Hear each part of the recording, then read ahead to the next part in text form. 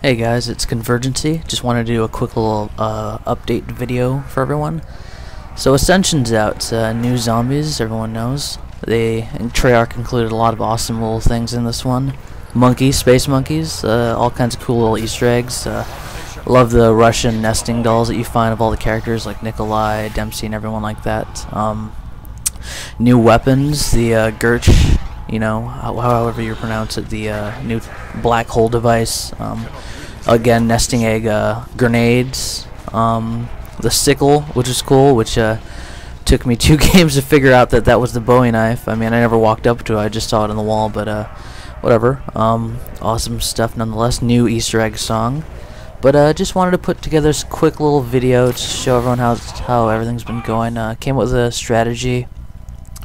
Um, first game, I spent a long time in between rounds uh, making crawlers constantly, just checking out the stage, uh, getting a feeling for everything, the routes to go and everything.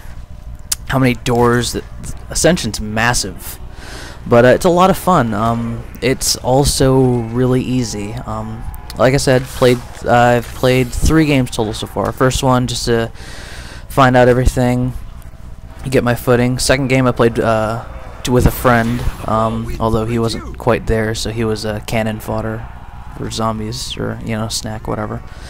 Um, and the third game, I actually wanted to see if I can go to 50, which I did. Um, so look for that video coming up hopefully by tomorrow or the next day. I've got something in mind as to how, um, yeah, what kind of strategy video to make. Uh, some fun footage I caught. Um, monkeys, round 47 pretty awesome stuff when you're uh, out of ammo. They go um, batshit crazy going after you. Anyway, hope you guys enjoy the, this short little update, and I'll see you guys soon with the strategy. Later.